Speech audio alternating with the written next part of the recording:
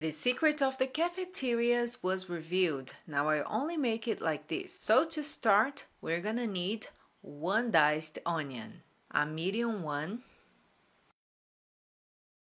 We're gonna dice this onion. And look guys, now you're gonna drain 150 grams of olives. Okay, we're gonna drain all the water. Uh, and here we have olives without the seed, okay? Drain it and reserve. We're gonna use it later. Now I'm gonna add the diced onion. All the onion. And let's start the other part of our recipe. Now I'm gonna add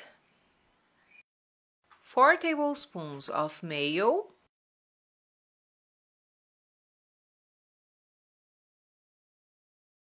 I will also add fine herbs, 4 tablespoons more or less. I will add 3 garlic cloves in pieces.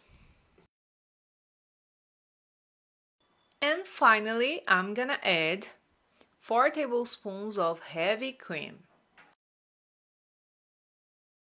Now that we add all the ingredients, now we're gonna blend it until this mixture is well combined.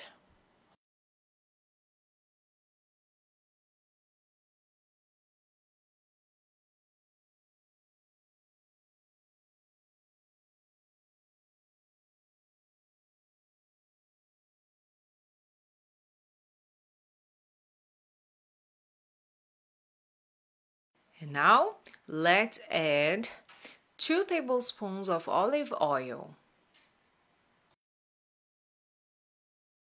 To finish our mayo with olives. And we're gonna blend it one more time to mix the olive oil.